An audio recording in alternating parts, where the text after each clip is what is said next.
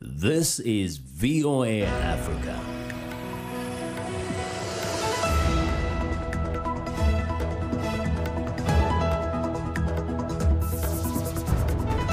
Good evening. I'm Esther Githui Ewart. It's Wednesday, January 8th. This is Africa 54. Al Shabaab strikes again in Somalia. At least three people are killed in a Mogadishu bomb attack.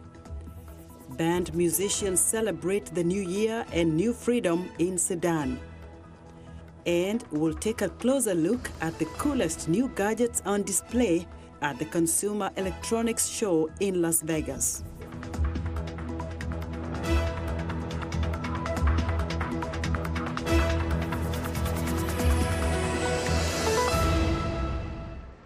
The Al Shabaab terrorist group has struck again in Somalia. This time, the organization is claiming responsibility for a bomb blast in Mogadishu that a city spokesman says killed three people. Black smoke was seen rising across the Mogadishu skyline Wednesday morning as medical and security personnel rushed to the scene of the attack. The bombing hit Sayidka Junction, a security checkpoint near the presidential palace, the interior ministry, and parliament. Abdikadir Abdurrahman, head of the Amin ambulance service, told reporters that 11 people were wounded, including three women. The attack appears to be part of an intensified campaign over the past two weeks by al-Shabaab in Somalia and neighboring Kenya, which have porous borders. Now to West Africa, where Liberians held a mass protest against the government of President George Weah that started peacefully but ended with tear gas, water cannons, and arrests as police dispersed protesters who were planning a sit-in. Around 3,000 Liberians demonstrated in Monrovia Monday, calling on President Weah to fulfill the promise he made to the electorate during his bid for the top office. Weah, the former football star, grew up in a slum and was seen as a shining beacon who could usher in a new era. Instead, he is facing criticisms of corruption like his predecessor. He's also struggling to remedy Liberia's deepening economic crisis. Promised the Liberian people and did not fulfill the promise. Today he's afraid of the people in the protest against him. He protested against the past regime. Today he doesn't want to protest. I'm so disappointed in him. Tension in Liberia has remained high over the past year with multiple anti-government demonstrations. The U.S. Treasury Department on Wednesday slapped sanctions on Taban Deng Gai, the first vice president of South Sudan, for his involvement in serious human rights abuses. The Treasury Department says Deng has acted to divide and sow distrust within the Sudan People's Liberation Movement in opposition and the Nuer community. The Treasury says that has ended the conflict in South Sudan and harmed the reconciliation and peace process. Deng arranged and directed the disappearance and death of human rights lawyer Samuel Dong Luak and SPLM-IO member Aggrey Idri, according to the Treasury Department. The U.S. President Donald Trump is giving a televised national address Wednesday after Iran fired more than a dozen ballistic missiles targeting two Iraqi air bases that house American troops. Trump's speech comes after Iran followed through with its promise to retaliate for the killing of its top military commander early Wednesday. VOA's Richard Green has the latest. The missiles lit up the night skies over the Al Asad base, located about 60 kilometers west of Baghdad, as well as one in Erbil, part of Iraq's semi autonomous Kurdish region. The attacks were carried out hours after the burial of Qasem Soleimani, the commander of Iran's elite Quds force, who was killed in a U.S. drone strike on Baghdad's airport on Friday. There was no immediate word of any casualties in the aftermath of the attacks on the Iraqi bases. Thomas Warrick, a non resident senior fellow at the Atlantic Council in Washington, D.C., tells VOA this may have been a deliberate decision on behalf of the Iranians. It appears as though the Iranians chose to respond with surface to surface missiles in order to make a very precise point. They were trying to retaliate in a way that they controlled so that rather than doing it through one of their proxy militias, it would be in the hands of the IRGC commanders and the Iranian supreme leader Ali Khamenei. Uh, so it's clear they wanted to try to control what was done. Javad Zarif, Iran's foreign minister, tweeted that the attack on the two Iraqi bases were, quote, proportionate measures in self defense, and insisted that Tehran does not, quote, seek escalation or war, but will defend ourselves against any aggression. U.S. President Donald Trump tweeted hours later that an assessment of casualties and damage was taking place, but added the phrase, so far, so good. Trump plans to make a statement about the bombings Wednesday morning. Richard Green, VOA News, Washington. Millions of Zimbabweans continue to suffer and face hunger as the country experiences its worst economic crisis in a decade, marked by soaring inflation and shortages of fuel, medicines, and electricity. The weather in the southern African nation is getting hotter and drier in recent years. Some farmers report they have ran out of food stocks and are forced to collect insects at night for family meals. This year's maize harvest was down 50% compared with 2018. Zimbabwe's overall cereal output is less than half of the national requirement. Last August, months earlier than anticipated, the World Food Programme was forced to launch an emergency lean season assistance program to meet Zimbabwe's rising needs. Bread now costs 20 times what it cost just six months ago, while the price of maize had, has nearly tripled over the same period.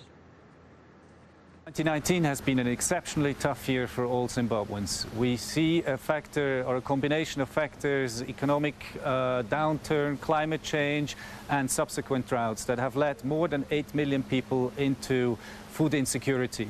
As in WFP, we're looking at ramping up our response over the next couple of weeks to reach almost double of what we have planned. Years of drought have slashed food production in Zimbabwe, once known as the breadbasket of Southern Africa. Now, for decades, U.S. universities have attracted large numbers of foreign students, but lately, international students seem less enthusiastic about the United States.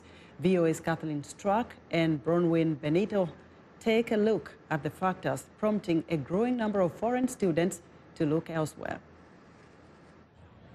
Shrushti Sinha knows exactly why she chose to come to college in the U.S. The freedom that you get here in terms of choosing what you want to study, and also the opportunities that studying here gives you. We have prime ministers and presidents come and speak at Columbia during the World Leaders Forum. You get to attend uh, talks with Nobel laureates. But that's not the only draw for prospective international students. U.S. course offer a more vibrant discussion. There is more peer-to-peer discussion going on in the class, whereas in the UK it's more lecturing all the time. More than 1 million international university students study in the United States today. But is enthusiasm for an American education waning? We've seen in the last two years shifts in where students want to go. Some foreign students balk at the price of a U.S. college or university, which averages between $25,000 a year at state schools and as much as $70,000 a year at private universities. And cost isn't the only hurdle. Obtaining a U.S. student visa can also be a challenge. I met a lot of parents who wanted to send their kids earlier, but were like, oh no, you know, with the visa situation, uh, you know, the climate against immigrants and whatnot, we are unsure, and they, and that was a huge factor in them deciding against it. I think the number one struggle with this visa situation is not having stability, security. I think it's the uncertainty that uh, really affects how a lot of students view America as an education destination now. That uncertainty is heightened by America's often harsh political debate over immigration, as well as U.S. policies targeting travelers from certain countries. The appearance of being unwelcome the strong anti immigrant rhetoric that unfortunately is dominating our political environment, those sorts of sentiments can be misread internationally as negative feelings towards international students and scholars. Meanwhile, violence in the U.S., including mass shootings at American schools and crimes against foreigners, are trumpeted in headlines around the globe. The end result is a leveling off of international student enrollment in the U.S. According to the annual survey by the Institute for International Education, the U.S. is still the number one choice for foreign students. But countries like Canada, Australia, and New Zealand are gaining popularity. We know that international students also have more cho choices than ever before about where to pursue higher education. Despite the hefty price tag and other factors that make the U.S. less attractive, the draw for international students remains strong. Being here opened the, the doors of the world to me. The people I meet, the opportunities I get access to, I think the United States uh, really gives you some of the best of that in the sense that it's not just American, it's also global. Opportunity changes everything. U.S. universities that depend on foreign student revenue hope that sense of opportunity endures. Bronwyn Benito, VOA News, Washington. Sudanese musicians who were banned by ousted President Omar al Bashir's government have returned to the country to play in a series of concerts, in a move seen as symbolic of the changes that are taking place in the country.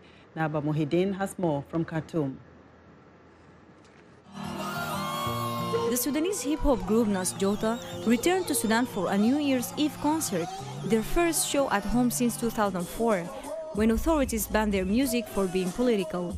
Nas Jota, which means chaotic people in Arabic, was forced to flee after former President Omar al-Bashir's government cracked down on artists who called for protest and new leadership. But since Bashir's ouster last April, Sudan's transitional government has welcomed back dissident artists like Nas Jota. This is the moment that we were looking for. Is that finally I can come back to my country, make life events for my people with no fear. Before I couldn't. The musicians are hailing their return with charity concerts marking Sudan Independence Day, January the 1st, the New Year, and a new Sudan, along with one concert for children with cancer. Some of the artists, like hip hop singer Ayman Mao, have been living in the United States and hope to see similar freedoms in Sudan. In 2020, I wish for the youth in Sudan to have a freedom of expression, freedom of uh, justice, equal rights, especially the artists. Um, I want them to have a Sudan where they can uh, be creative and uh, uh ex uh, express themselves. Returning artists like singer Rasha Sheikh admit there is still a struggle in Sudan. I'm so excited. Uh, the country feels new, although it's still difficult for everybody. Uh, prices are really high, high. Life is difficult, but people are happy and hopeful and full of plans for the future. It's fantastic.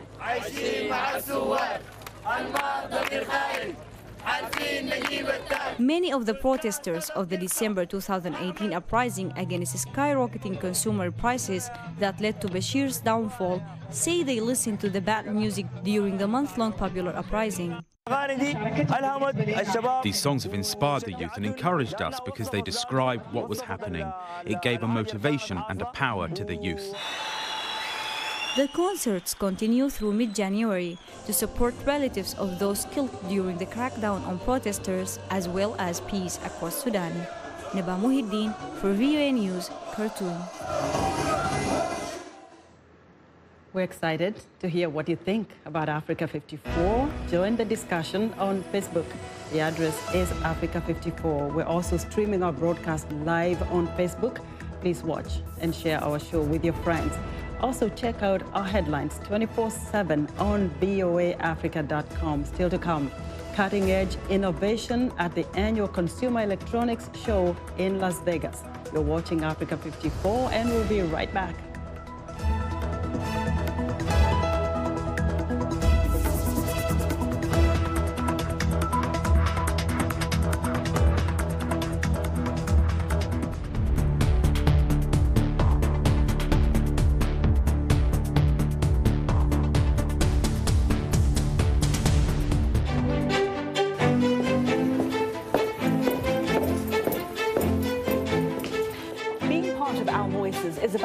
Just sitting here and talking about women's issues. It's about listening to them. And bringing their opinions to the table and making sure their voices are heard. Because our lived experiences, our stories, and our voices will help shape the next generation.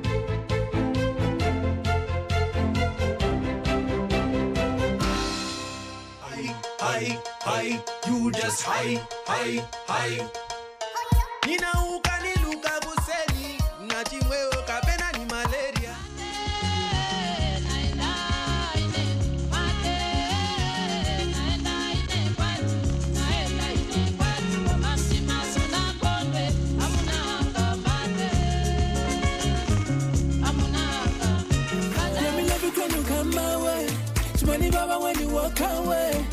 wanna make you my woman. I don't wanna waste no time. I say, hold up, hold up, my mama. You know I'm wanting you. I say, hold up, hold up, big mama. Can I be the one for you? Tell me where did you come from? Abombeni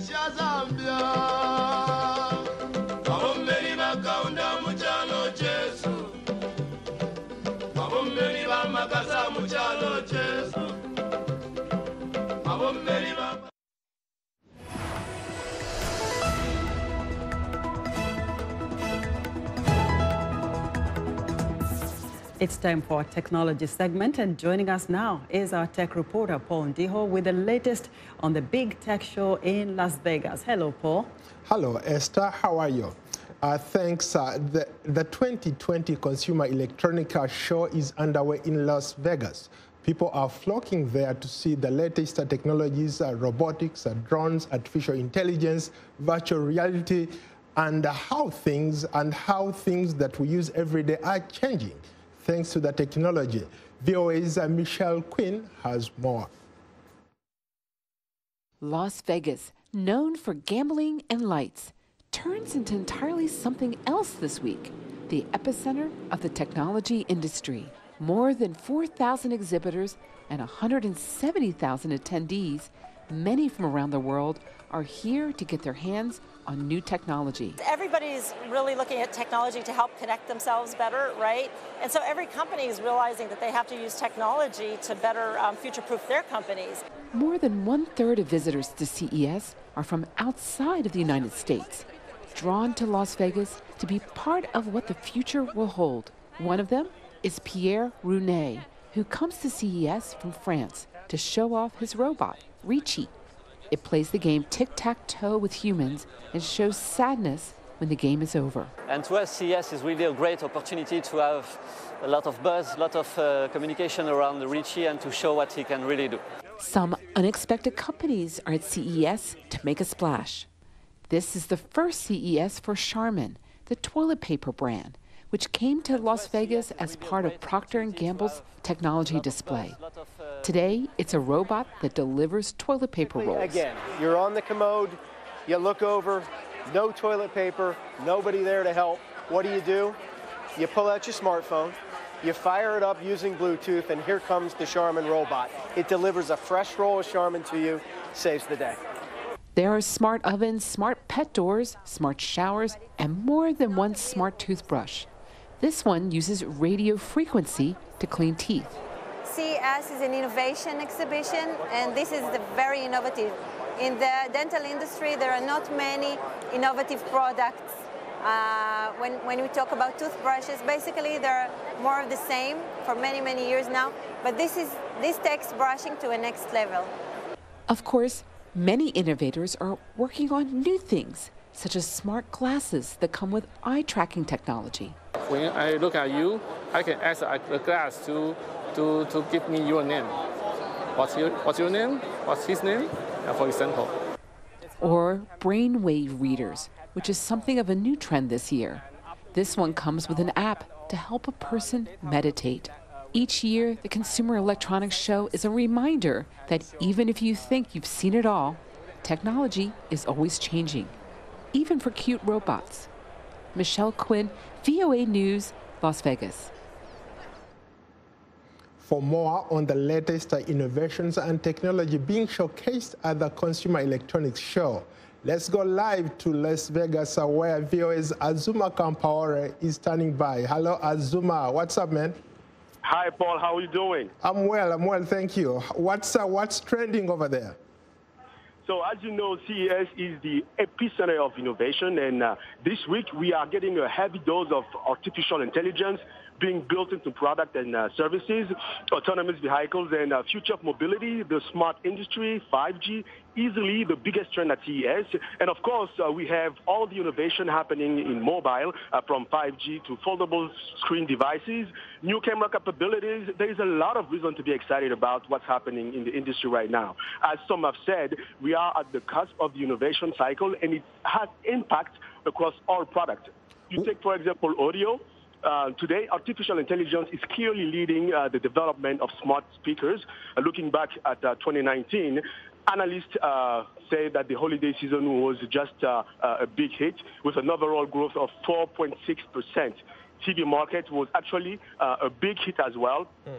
50 inch uh, and above TV sold about 3 million in just three weeks. Wow, interesting. What are some of the uh, African uh, tech companies that are present there and how, how are they playing compared to the tech companies here? So, well, uh, the African startups number at the CES almost quadrupled. Teams from Senegal, Morocco, Egypt, and Tunisia brought to the table a diverse uh, range of products from artificial intelligence to augmented reality and financial tools designed to improve farmers' productivity. African innovators clearly uh, are placing themselves uh, at the center of the global tech scene. Uh, who, are, who are the leading uh, tech companies from Africa? So right now we have a big team from uh, uh, Morocco that is here with about uh, 11 startups.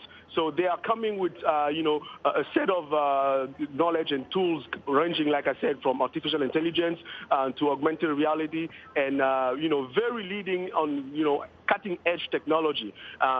Senegal and uh, Egypt as well are here with a lot of uh, interesting, uh, you know, capabilities.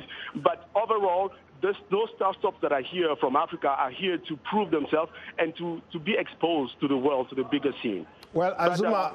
But, uh, what I wanted to, uh, to stress, too, is that uh, what I'm very excited about is uh, this year there's the launch of the Global Tech Challenge. It's a partnership between uh, CES and the, the World Bank well, that...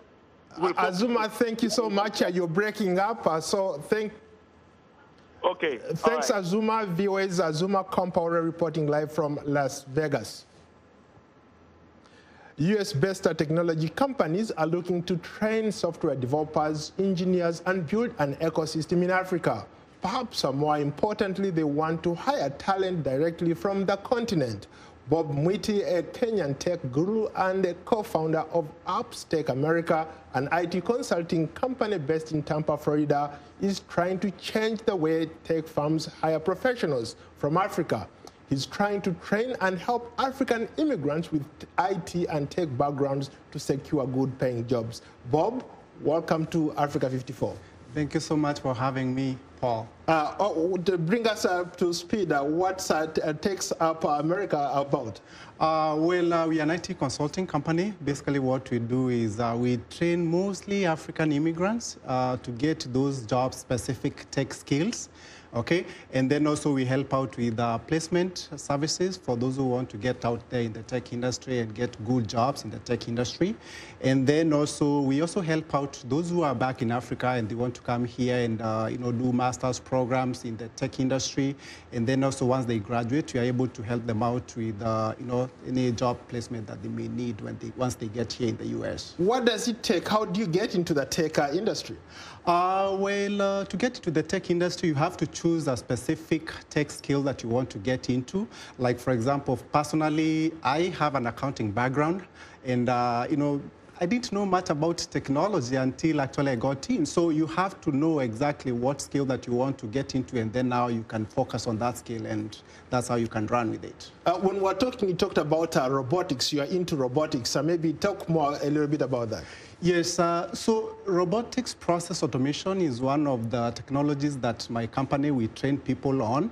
I personally worked as a robotics process automation analyst. And basically, this is a technology that leverages the power of artificial intelligence. And uh, what happens is uh, most companies out there, they have processes that are very tedious, repetitive in nature. And what companies are now doing is replacing those uh, kind of uh, processes which are done manually by people and being replaced now by robots, and these are software robots. These are not, you know, your industrial robots. These are software robots. And uh, we train people on that kind of a technology where you can actually go out there and do an implementation for that kind of a project. And uh, we have a training program for robotics process automation on a UiPath tool and this is on uh, on you becoming a business analyst. Uh, uh, uh Bob, uh, you talked about how you are actually helping a lot of Kenyans with tech and IT backgrounds to come to America. Yes. how is that going, and how many people have you helped so far? Uh, well, we have this program that we launched last year where we are bringing, we call it the Kenya Airlift Program. We are basically focusing on bringing those brilliant Kenyans who want to come here in the US and get into the tech industry because there's a lot of opportunities here in the tech industry. And basically what we do is we source for their funding here in the US in terms of uh, graduate, uh, scholar, graduate assistantship uh, scholarships. And also uh, on top of that, also we, we get them uh, unsecured international student loans. And then now once they are here in the US, and once they start now going to school, we are also able to provide them online with job-specific skills, where now once they graduate from college, they have those skills that are needed on the job market so that they can be able to take all the opportunities that are here and get good jobs. Now, for that program, we started it last year. We have about 30 people uh, who are already in the program. They are, you know, for you to get here as a student, you have also to, there's a lot of things that goes on. You have to prepare. There's some exams that you have to do. So we have most of them doing that, those preparations. And we already have three students who are already here in the U.S. as students. And we have many others that are also getting in and now trying to get into the program. Uh, Baba, very briefly, uh, for a kid watching you anywhere in Africa or in Kenya, what is it that they need to do? How do they get into this uh, tech business? Uh, well, uh, you see, a lot of people, there's that misconception about technology or IT. A lot of people think that IT, it's all about coding and programming. Personally, I don't know how to code at all. Okay, I used to work in the industry as a systems analyst, basically implementing from the front end. I don't have to do any coding. So, so anyone out there back in Africa and they want to get into the tech industry, don't, don't be scared because, you know, there's a lot in the industry. You know, IT is very, very broad. You can just focus on one specific skill and you don't have to know how to program because like I said, personally, I have an accounting background and, you know, you can just focus on that and, you know, uh, train on that. There's a lot of training out there online, uh, and you just get trained, and then you can just go there and do the job very, very well. Uh, unfortunately, we've run out of time. I look forward to hosting you another time. Thanks, Bob, for coming to Africa 54.